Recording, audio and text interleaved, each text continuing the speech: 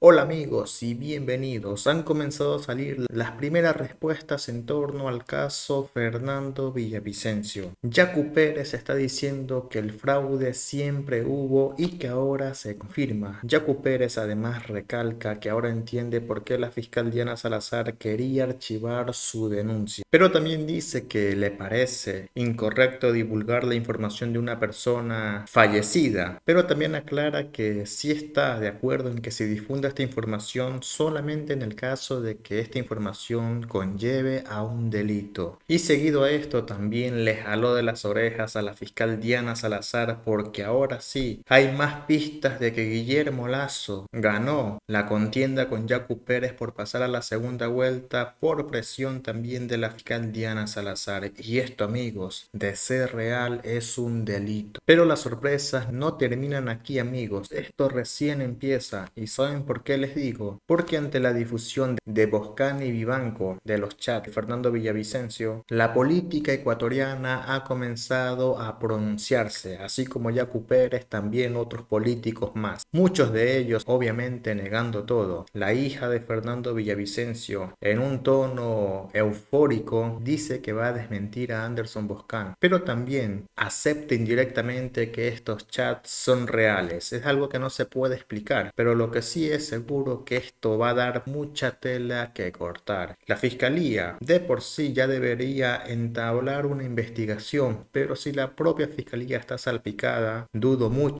que lo haga, ¿verdad? Escuchemos ahora a Amanda Villavicencio, hija de Fernando Villavicencio. Soy Amanda Villavicencio.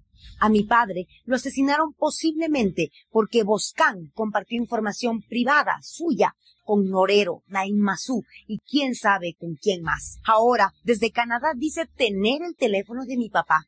¿No les parece esto una afrenta a la dignidad de un hombre que ya no puede defenderse? Además afirma que lo tienen desde hace un mes. Entonces, ¿cuánto tiempo manipularon y modificaron esos supuestos chats? Señor Boscán, ¿cómo podríamos creerle si usted le dijo a mi papá que usted no se comunicaba con Leandro Norero solamente a través de terceros? ¿Y con Leandro Norero también? Con el señor no he podido hablar personalmente, sino a través de intermediarios. Ellos sabrán cómo lo contactan, por supuesto. Y ahora nos queda muy claro que usted le decía ñaño.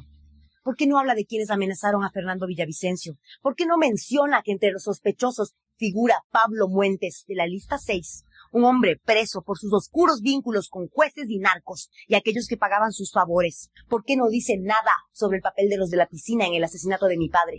Desde el día uno, usted reprodujo videos y noticias falsas para dañar su nombre. Deje en paz la memoria de Fernando Villavicencio. Mi padre me enseñó a combatir el mal sin miedo, mientras usted hace show, porque Fernando obtenía información de funcionarios y de gente valiente que se atrevía a denunciar, mientras la posta la obtiene de los narcos. Al revelar sus conversaciones privadas, suponiendo que sean ciertas, ustedes están publicando una prueba reservada en la investigación sobre los autores intelectuales del asesinato de mi padre. Mientras pretende ayudar a limpiar la imagen de los responsables y perpetuar la impunidad violan el secreto de correspondencia de mi padre y de las personas con las que él se comunicaba. Exponen a sus fuentes. ¿Usted le llama esto periodismo? Pues no ha aprendido nada. Espero el total peso de la ley en esta acción infame. Pronto estaré en Ecuador y por cada mentira suya encontrará una réplica. Yo no me disfrazo con boina ni con dialecto argentino. Yo soy Amanda Villavicencio y no les tengo miedo. Tampoco me van a robar mi paz. Pero no voy a descansar hasta que el país entero conozca la verdad sobre quienes estuvieron cerca, quienes le mintieron a mi padre, quienes le fallaron y quienes como usted lo traicionaron y lo entregaron a la mafia. Para todos hay. Por eso el correísmo nunca volverá. Este programa, guarden. El correísmo nunca volverá. Rafael Correa nunca volverá a la García Moreno, a Carondelet. Jamás. Okay. Porque tú me dices que no entendió. Sí entendió. Hay un sector que no entiende. Pronto entenderá. Pero la gran mayoría de ecuatorianos ya entendió. Duras han sido las palabras de Amanda Villavicencio contra Anderson Boscan y parece que esto va a tomar vías legales. Parece que ese será el camino. Y para hacerles un recordatorio a todos ustedes, ¿se acuerdan cuando a Cristian Zurita le preguntaron por el teléfono de Fernando Villavicencio y este en un tono enojado dijo que eso no puede ser parte de la investigación? Y ahora se entiende el por qué no podía ser parte de la investigación el teléfono de Villavicencio, porque él también estaba salpicado. Dejemos que el propio Zurita, en su tono eufórico y de miedo, decía lo siguiente. Vamos con respecto a estos una hechos. consulta que se sabe del celular del señor Villavicencio. El teléfono de Fernando Villavicencio no tiene absolutamente nada que ver en este tema. Yo ya quiero ser enfático y dejar de hablar de este tema porque hace demasiado ruido.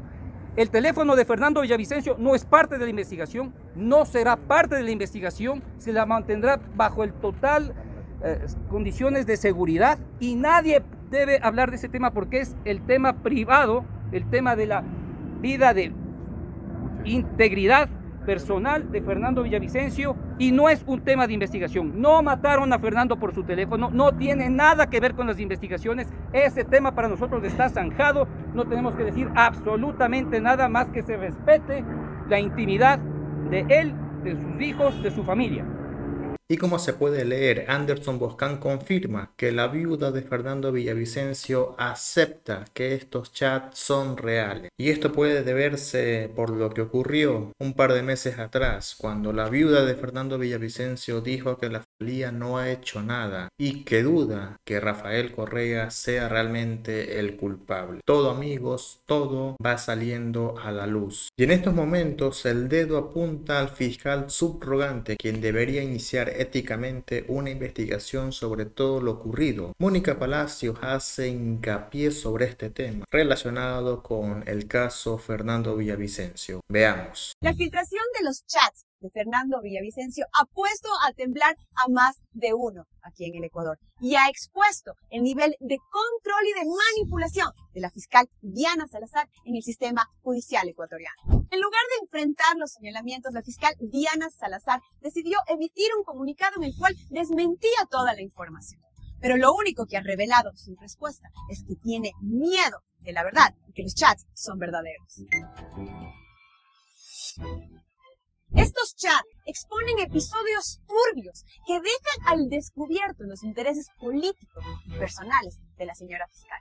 Desde su presunta ayuda a Villavicencio para eliminar una denuncia del ex consejero presidencial Santiago Cuesta, hasta las amenazas a Diana Atamaín de allanar el CNE para que Lazo pase a segunda vuelta, su arrogancia al afirmar que el tribunal fallaría a su favor en el caso Cine.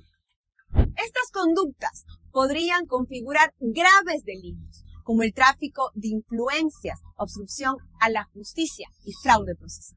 Salazar y Fernando Villavicencio se utilizaron mutuamente para transferirse información privilegiada para intimidar a sus adversarios políticos y controlar de esta manera el sistema judicial ecuatoriano. Fiscal subrogante Wilson Toay va a seguir permitiendo que la corrupción de la fiscal Diana Salazar siga manchando a la Fiscalía General del Estado o va a empezar una investigación de oficio. Las mentiras de la señora Salazar ya no se pueden seguir tapando con un dedo.